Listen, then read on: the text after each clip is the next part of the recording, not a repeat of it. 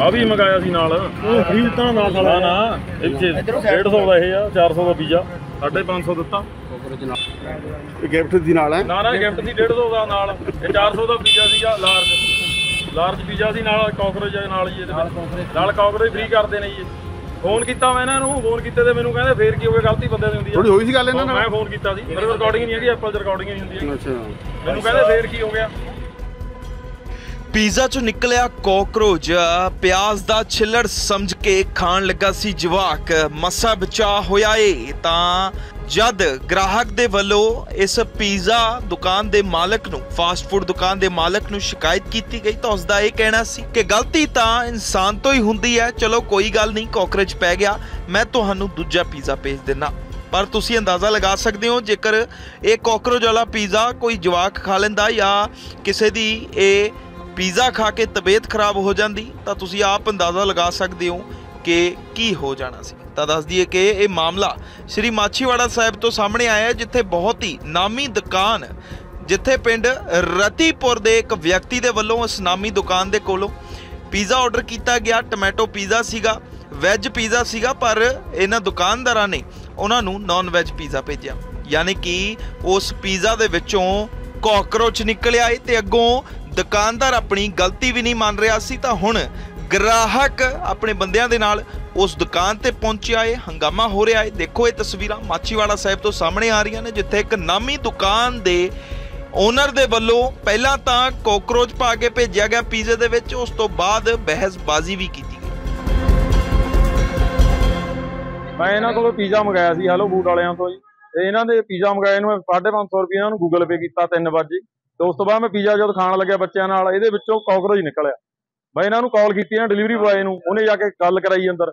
ਉਹ ਜਿਹੜਾ ਇਹਨਾਂ ਦਾ ਬੰਦਾ ਵਾ, ਉਹ ਮੈਨੂੰ ਕਹਿੰਦਾ, ਫੇਰ ਕੀ ਹੋ ਗਿਆ, ਗਲਤੀ ਬੰਦਿਆਂ ਤੋਂ ਹੁੰਦੀ ਆ, ਹੋਰ ਪੀਜ਼ਾ ਭੇਜ ਦਿੰਦੇ ਆ, ਤਾਂ ਕੀ ਹੋਣ ਲੱਗਿਆ। ਇਹ ਦੱਸੋ ਇਹਨਾਂ ਦਾ ਫੂਡ ਖਾਣ ਵਾਲਾ ਜਿਹੜੇ ਕਾਕਰੋਚ ਬਣ ਰਹੇ ਨੇ 4-5-500 ਰੁਪਏ ਦੇ ਵਿੱਚ ਪੀਜ਼ਿਆਂ ਦੇ ਵਿੱਚ। ਮੈਂ ਘਰੇ ਮੰਗਾਇਆ ਸੀ ਆਰਡਰ ਤੇ ਗੂਗਲ ਪੇ ਰਾਹੀਂ ਪੇਮੈਂਟ ਕੀਤੀ, ਇਹਨੂੰ ਮੈਂ ਗਏ ਨੂੰ, ਇਹਨਾਂ ਡਿਲੀਵਰੀ ਬੁਆਏ ਨੂੰ, ਇਹਨਾਂ ਦੇ ਨੂੰ। ਉਦੋਂ ਇਹਨਾਂ ਦੇ ਵਿੱਚ ਕਾਕਰੋਚ ਨਿਕਲਿਆ, ਉੱਤੇ ਦੀ ਗਲਤੀ ਨਹੀਂ ਮੰਨਦੇ ਆ ਕਹਿੰਦੇ ਕੋਈ ਚੱਕਰ ਨਹੀਂ। ਅਜੇ 3 ਵਜੇ ਮੰਗਾਇਆ ਜੀ।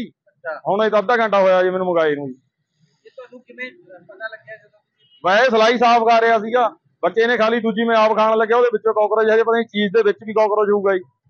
ਇਸ ਸੰਬੰਧੀ ਤੁਸੀਂ ਇਹਨਾਂ ਦੇ ਕਿਸੇ ਬ- ਜਾਂ ਮੈਂ ਇਹਨਾਂ ਨੂੰ ਕਾਲ ਕੀਤੀ ਡਿਲੀਵਰੀ ਬੁਆਏ ਨੂੰ ਜਿਹੜੇ ਨੰਬਰ ਤੋਂ ਮੈਨੂੰ ਕਾਲ ਆਈ ਸੀ। ਤੇ ਉਹ ਬੰਦੇ ਨੂੰ ਮੈਂ ਫੋਨ ਕੀਤਾ ਉਹਨੇ ਅੰਦਰ ਆ ਕੇ ਗੱਲ ਕਰਾਈ ਆ ਮੇਰੇ ਨਾਲ। ਮੈਨੂੰ ਕਹਿੰਦਾ ਵੀ ਫੇਰ ਕੀ ਹੋ ਗਿਆ ਗਲਤੀ ਬੰਦਿਆਂ ਤੋਂ ਹੀ ਹੁੰਦੀ ਆ। ਤਾਂ ਕੀ ਹੋ ਗਿਆ? ਇਹ- ਕਿਹਨੇ ਕਿਹਾ? ਇਹ ਬਾਡਿੰਗ ਇਹਨਾਂ ਦੀ ਅੰਦਰ ਪਤਾ ਨਹੀਂ ਕਿਹਦੀ ਹੈ ਕਿਹਦੀ ਨਹੀਂ। ਮੈਂ ਮੈਨੇਜਰ ਦਾ ਨੰਬਰ ਮੰਗਿਆ ਇਹਨਾਂ ਨੇ ਮੈਨੂੰ ਹੁਣ ਤੱਕ ਨਾ ਕਾਲ ਕੀਤੀ ਆ ਵਾਪਸ ਨਾ ਇਹਨਾਂ ਨੇ ਮੈਨੂੰ ਕੋਈ ਨੰਬਰ ਦਿੱਤਾ ਮੈਨੇਜਰ ਦਾ ਕਿਸੇ ਦਾ ਆਪਦੇ ਦਾ। ਮੰਗ ਕਰਦੇ ਇਹਨਾਂ ਦਾ ਬੰਦ ਕੀਤਾ ਜਾਵੇ ਇਹ ਜਗ੍ਹਾ ਦਿਖਾਉਣ ਨੂੰ ਇਹਦਾ ਬੱਚੇ ਮਾਰ ਦੇਣਗੇ ਲੋਕਾਂ ਦੇ ਖਾ ਕੇ ਲਾ ਕੇ। ਇਹਦੇ ਸਖਤ ਤੋਂ ਸਖਤ ਕਾਰਵਾਈ ਕਰੇ ਇਹਨਾਂ ਦੇ ਜੀ ਮਹਿਕਮਾ ਆ ਕੇ। ਫੂਡ ਸਪਲਾਈ ਵਾਲਾ ਚੈਕਿੰਗ ਕਰੇ ਇਹਨਾਂ ਦੀ ਆ ਕੇ ਮਹਿਕਮਾ। ਕੰਪਲੇਂਟ ਨਹੀਂ ਕੀਤੀ ਮੈਂ ਇਹਨਾਂ ਕੋਲ ਪਹੁੰਚਿਆ ਜੀ ਤੁਹਾਨੂੰ ਲੈ ਕੇ। ਗੱਲ ਵੀਰੇ ਕੁਝ ਵੀ ਨਹੀਂ ਹੋਈ। ਕਾਲ ਆਈ ਸੀ ਉਹਨਾਂ ਦੀ ਹਨਾ ਪਹਿਲਾਂ।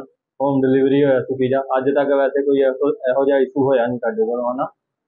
ਕਾਲ ਆਈ ਉਹਨਾਂ ਕਾਲ ਕੀਤੀ ਤੇ ਅਸੀਂ ਕਿਹਾ ਵੀ ਅੱਜ ਤੱਕ ਇਹੋ ਜਿਹਾ ਕੋਈ ਚਾਂਸ ਹੋਇਆ ਨਹੀਂ ਸਾਡੇ ਇੱਥੇ ਹਨਾ। ਜੇ 1% ਹੋਇਆ ਵੀ ਹੋਊ ਤੇ ਅਸੀਂ ਚੇਂਜ ਕਰ ਦਿੰਦੇ ਹਾਂ ਵੀਰੇ ਹਨਾ। ਤੁਸੀਂ ਇੰਨੀ ਗੱਲ ਕਹੀ ਆ ਉਹਨਾਂ ਨੂੰ? ਹਾਂਜੀ ਹਾਂਜੀ ਕਾਲ ਤੇ ਮੇਰੀ ਗੱਲ ਹੋਈ ਉਹਨਾਂ ਨਾਲ। ਠੀਕ ਆ? ਤੇ ਇੰਨੇ ਆਊਟਲੈਟ ਨੇ ਹਨਾ ਸਾਡੇ। ਅਜੇ ਤੱਕ ਇਹੋ ਜਿਹਾ ਕੋਈ ਚਾਂਸ ਹੋਇਆ ਨਹੀਂ ਕਦੇ। ਕਿਤੇ ਵੀ। ਬਸ ਇੰਨੀ ਗੱਲ ਹੋਈ ਆ ਫਿਰ ਇੱਥੇ ਆ ਗਏ ਨੇ। ਜਿਹੜਾ ਤੁਸੀਂ ਸਮਾਨ ਵਰਤਦੇ ਹੋ ਅੰਦਰ ਉਹ ਸਫ਼ਾਈ ਦੇ ਨਾਲ ਵਰਤਦੇ ਹੋ ਫਰੈਸ਼ ਹੁੰਦਾ ਵੀਰੇ ਟੋਟਲ ਕਟਿੰਗ ਤੋਂ ਲੈ ਕੇ ਟੋਟਲ ਵੈਜ ਆ ਸਾਡਾ ਪਹਿਲੀ ਗੱਲ ਤਾਂ ਇਹ ਆ। ਟੋਟਲ ਫਰੈਸ਼ ਹੁੰਦਾ ਡੇਲੀ ਚੈੱਕ ਹੁੰਦਾ ਵਾ ਦੋ ਦੋ ਵਾਰ ਤਿੰਨ ਤਿੰਨ ਵਾਰ ਜਿੰਨੀ ਵਾਰੀ ਵੀ ਅਸੀਂ ਦੇਖੀ ਆ ਨਾ ਸਭ ਚੈੱਕ ਹੋ ਕੇ ਜਾਂਦਾ ਵਾ। ਪੀਜ਼ਾ ਵੀ ਚੈੱਕ ਹੋ ਕੇ ਜਾਂਦਾ ਇੱਥੋਂ ਹਨਾ। ਪਹਿਲਾਂ ਬਣਨਾ ਨਿਕਲਣਾ ਫਿਰ ਚੈੱਕ ਹੋ ਕੇ ਜਾਣਾ।